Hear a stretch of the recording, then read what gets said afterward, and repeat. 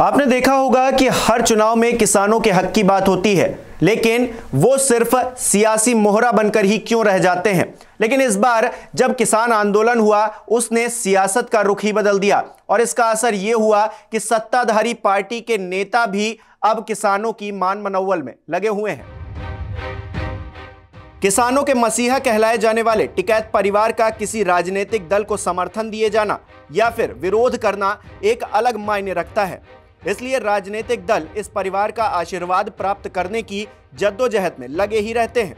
इसी कड़ी में मोदी सरकार के एक मंत्री भी जुड़ गए हैं। राष्ट्रीय लोकदल के प्रत्याशी ने नरेश टिकैत से सिंबल लिया तो मंत्री संजीव बालियान भी नरेश टिकैत से मुलाकात करने उनके घर पहुँच गए। अब इस मुलाकात के कई सियासी मायने निकाले जा रहे हैं। माना जा रहा है कि भारतीय किसान यूनियन की बीजेपी और बालियान को लेकर जो नाराज़गी थी, वो नाराज़गी दूर हो गई है। और अब भारतीय किसान यूनियन बीजेपी का विरोध नहीं करेगा।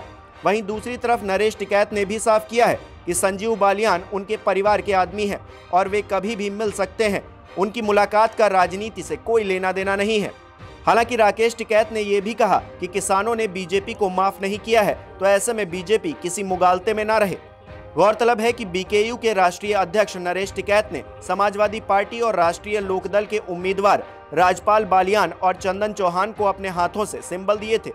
आरएलडी कार्यकर्ताओं ने इसे समर्थन बताकर सोशल मीडिया पर वायरल किया। तो नरेश टिकैत ने कहा कि उनके परिवार से कोई चुनाव नहीं लड़ रहा है और न ही वो किसी का समर्थन कर रहे हैं। ऐसे में किसी भी पार्टी का कोई भी नेता आ सकता है। हम अराजनैतिक ही हैं। बहरहाल नरेश टिकैत खुद को और अपने संगठन को अराजनैतिक बता सकते हैं, लेकिन उनके सियासी दखल को नजरअंदाज नहीं किया जा सकता। अब आगामी चुनाव पर इसका कैसे और क्या असर पड़ेगा, ये तो 10 मार्च के नतीजे ही बताएँगे।